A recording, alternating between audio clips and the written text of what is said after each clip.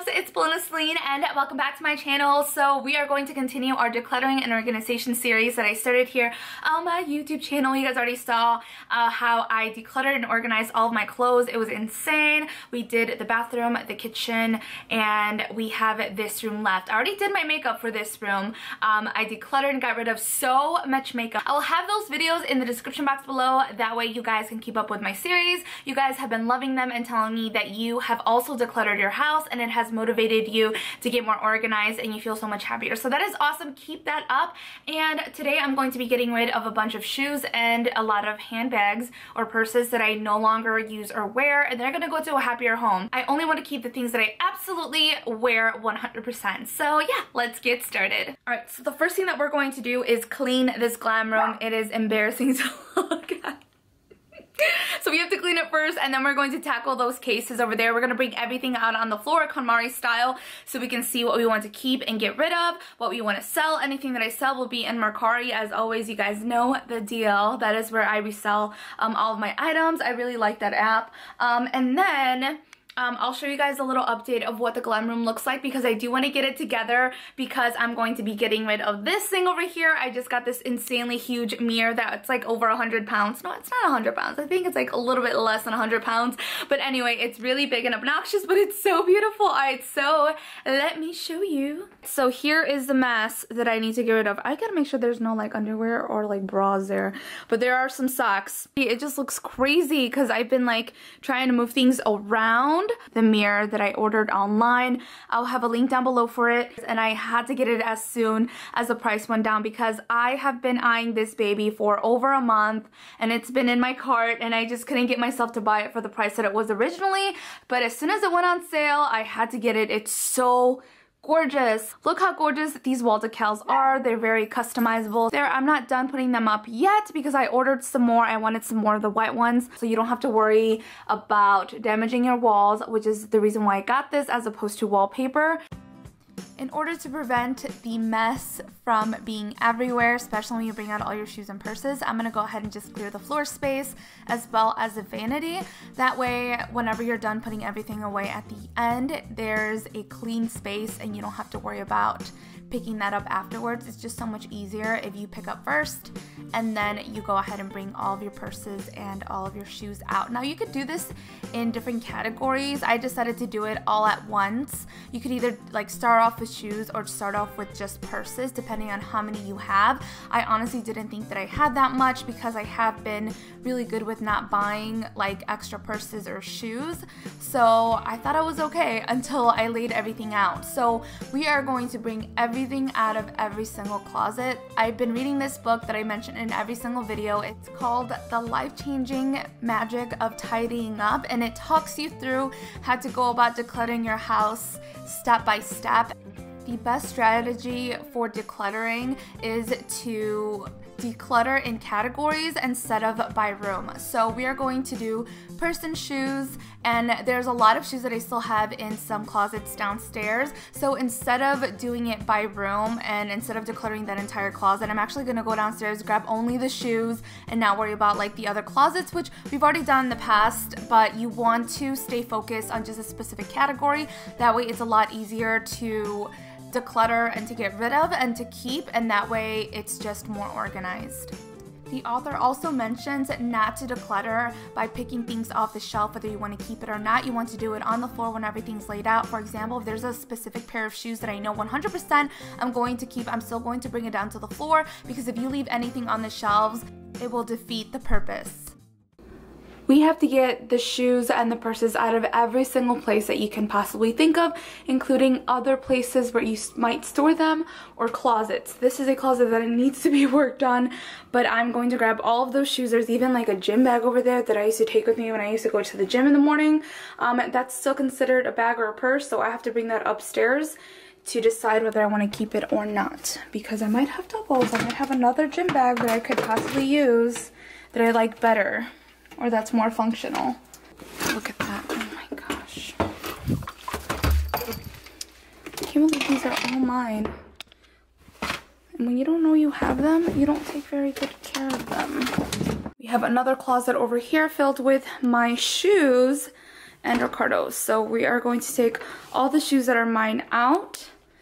And there's some in here that I didn't even realize that I had. So, regardless of the season, going, oh, I forgot I had these. I was looking for them. They were like in plain sight too. And I think all of these, they don't even, I don't even have a matching pair for these. Why are they here? See, you don't realize what you have and it's just clutter.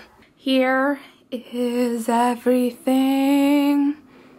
When I see this, I'm like, I can't believe how much crap I have. And then there is no turning back after this point and you just have to either get rid of it or put it all away and putting it all away is gonna suck. So you might as well just get rid of it, right? Now that the sun went down, I had to put up the lights. I got really hot bringing everything from downstairs up here, especially in the closet. And so I was like, I have to change out of that other shirt. It was really thick. If you feel like you can't do this and you can't declutter and you want someone to talk you through this process, hopefully this video helps. But if not, if you want someone to be like, hey there little slugger, if you need some help decluttering, I can help you change the way you think, that way you can declutter, then download the freaking book. Like, honestly, it is so amazing how that book changes your mindset and the way that you think. Okay, so true story. I just helped my sister declutter her basement a few days ago. It was almost near impossible to get her to get rid of anything. And she had just stacks of things she hasn't used in years. She's like, she had very sentimental attachment to a lot of things and just things that were very valuable. And she was like, it's a waste of money if I throw it away let me tell you what I did. I put on that book and by the end of the night, three hours into decluttering, she was like, throw this away, throw this away, get rid of this, get rid of that, donate this, and it worked like magic. So if you guys really want that motivation, download that book. Like I am not being paid to talk about it. To be honest, I heard so many people talk about it in their videos and on YouTube and I was like, let me see what this book is about. Downloaded it, changed my life, got the second book because it was so good, and here I am. Alright, so let's get into it when it's like this, it could be really overwhelming and you have no idea where to start. Just grab yourself a bag. Doesn't have to be anything special. Pick up the first thing that you see and think whether you want to keep it or not. I'm going to be making different piles because some of these things I don't know if I can get rid of, but I'll show you guys my thinking process. Hi. Oh, my poor baby. I'm sorry. Oh, I'm sorry you had to go through that. Mm, you can, you can sit next to me. Come here. Come here, sit right here. Let's play some music.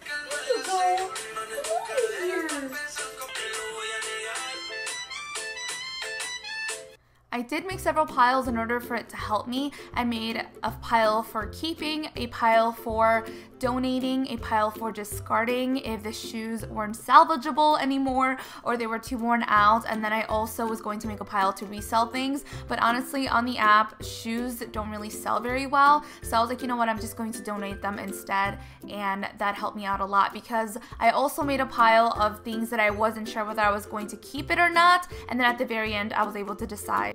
Alright, so I've already made some progress. These are the shoes that I'm going to be keeping, and these are shoes that I absolutely love and I've been wearing them. If I haven't worn them in the past year, I'm getting rid of them. These are really great. I have some that are identical to this, except the heel is a little bit thicker, so I'm going to be getting rid of these. I love these, they're really nice. They were kind of expensive, not gonna lie, but the reason why I'm getting rid of these is because the heel is too bulky for me, and I'm not gonna wear these. I haven't worn them. I always tell myself that I am going to wear them, but I don't like the way they look. They make my feet look really bulky, so I'm getting rid of these. Okay, so these right here might look nice. I don't know why it's not picking up on the camera, but these look really worn out, and I only wore them one time, and I think it's the fabric, the material that it's made out of. There we go, you can see them now. As you can tell, they look stained, or they look like I don't know, they look pretty bad. I tried cleaning them and nothing works. They just look really worn out. I wore them one time. These are too bulky, so I got rid of those. I have some shoes that are identical to this almost. Um, not exactly, kind of similar, but I always say that I'm going to wear them. I never do. These are just a little bit worn out. And then these are very uncomfortable, so are these. These are not my style anymore, so I'm getting rid of them. These are gorgeous. I only wore them in like photo shoots or in videos and I love them. I really do, but I never wear them. And I think it's because the heel is too high. These over here are too small. I don't know why I didn't realize that I got an eight instead of an eight and a half. So they are literally brand new with the tag still on. Um, they weren't that expensive. They were only $16 from Ross. So I'm just going to be getting rid of those. I never wear these over here. I always tell myself once again that I'm going to wear them and I never do. So we're getting rid of those started running out of space and I started to shift them over. And then with the second time that I actually picked them up, it helped me make a better decision whether I wanted to keep it or not. And I was able to get rid of a few more that I knew I wasn't going to wear that I just liked, including two different pairs of slippers that I had. Honestly, I barely wear one pair, so why have two? So I was like, I'm just gonna keep the ones that are in better shape and that way I can get rid of another right. one. So this is the progress that I've been doing so far. I'm donating these. These are really pretty and I wore them on on a trip and I really like them, but they hurt my toes like right here because they're so heavy and they kind of like scratch the sides up. So I was like, you know what? I never wear them because they're uncomfortable, so I'm not going to take those. I got rid of those boots. These are so cute. They really are, but I just feel like I didn't wear them at all during the winter. Um, so I'm like, you know what? I'm just going to get rid of them. They're really cute, but they're extremely hot. And if you're already wearing a down feather coat, and you're wearing some boots, like it can be really hot. And the water seeps through these because they're made out of like a thinner material. So I was like, you know what, I have to get rid of those. These I kind of just grew out of. They're so cute and I love the polka dots and the bows and they're really, really cute and in great condition. But I never wore them because I feel like my style has changed a lot and I don't wear these. So I'm not going to be wearing those. I still need some snowshoes though. So these are the ones that I wore a lot last year and they're really comfortable. They're made out of suede. So it, the snow is not going to seep through as much and so that's why I'm going to keep those. I'm going to keep all of these boots. I love my Tory Burch boots. They're my favorite kind. These are my favorite Tory Burch boots ever. My favorite style that I've ever worn, but I've worn them for so long.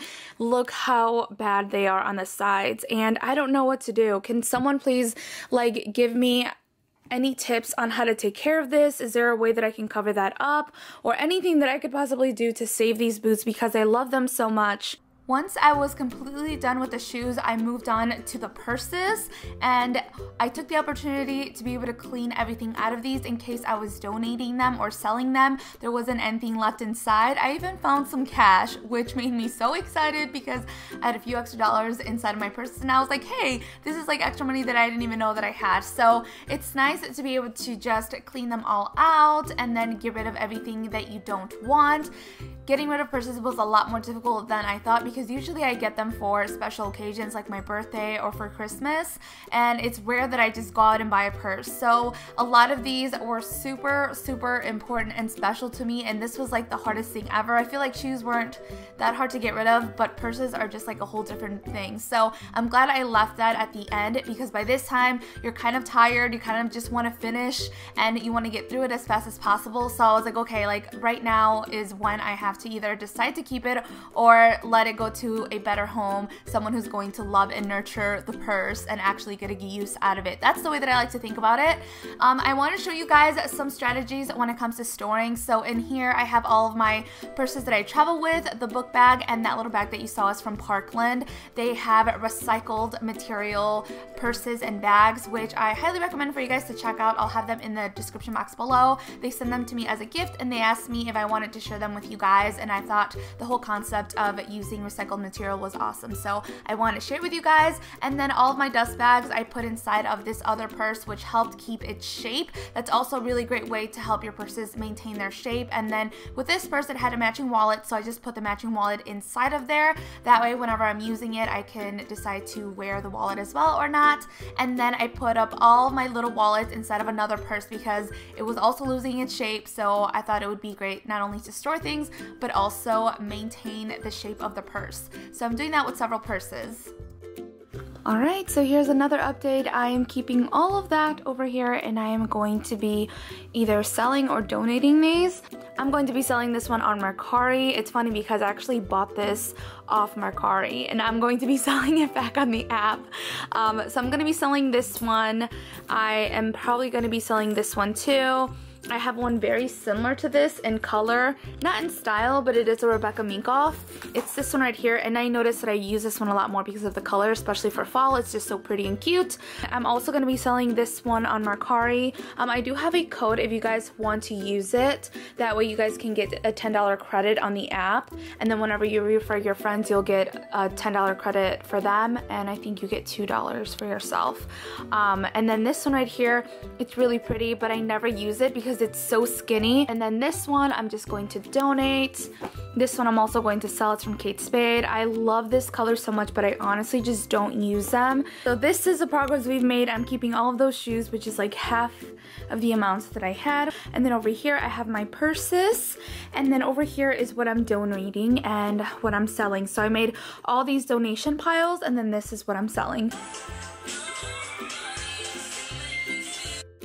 A lot of the time, something that holds someone back from decluttering is a storage solution for putting it all back and organizing it once you are done. But honestly, once you are done decluttering, you're gonna have so many less things to worry about putting back. So don't worry about a storage solution for it because you'll most likely not even need it once you are complete done.